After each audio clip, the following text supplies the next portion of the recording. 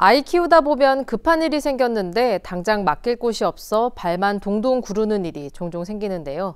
경기도에서는 앞으로 이런 걱정을 하지 않아도 될 것 같습니다.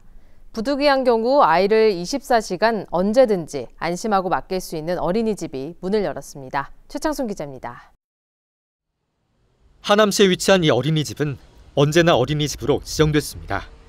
긴급한 일이 있을 경우 365일 24시간 언제든지 아이를 맡길 수 있는 곳입니다. 생후 6개월부터 7살까지 유치원이나 어린이집에 다니거나 가정에서 양육하는 아이도 가능합니다.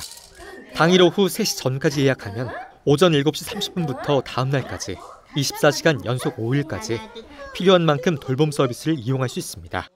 주변에 도움받을 곳이 없거나 아니면은 전문가 분들에게 아무래도 그런 분들에게 우리 아이를 안심하고 맡길 수 있지 않을까 그런 게 가장 큰 장점이라고 생각을 합니다. 이용료는 시간당 3,000원으로 저렴한 편입니다. 보호자는 신분증과 주민등록 등본이나 가족관계 증명서를 지참하고 자녀에게 필요한 기저귀와 옷, 이불 간식 등은 개별적으로 준비해야 합니다. 어린이집에서는 야간 보육을 대비해 교사를 채용하고 시설도 보강하는 등 만반의 준비를 갖췄습니다. 정말 좋으신 분들을 우선 모셔서 운영을 시작하게 됐고 그 외에 이제 아이들이 함께 편안하게 머물 수 있는 이런 공간을 확보하기 위해서 어, 여러 가지 이제 공사라든가 이 환경 조성에 조금 힘썼던 부분이 있습니다.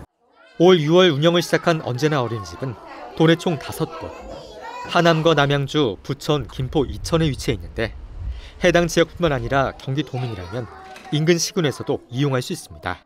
이렇게 일과 육아를 병행할 수 있게 이렇게 사업을 해주셔가지고 잘 다닐 수 있고 저출산 위기 극복에도 큰 도움이 될 것 같습니다.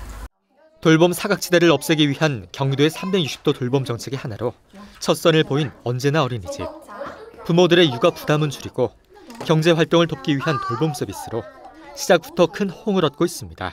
많은 어린이집이 있음에도 불구하고 여전히 어느 한 부분이라도 사각지대가 존재하기 때문에 언제나 어린이집이 그 틈새 보육을 어, 해결해 나갈 거라고 생각합니다.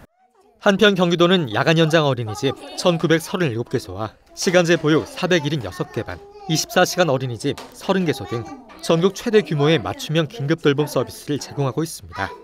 GTV 뉴스 최창순입니다.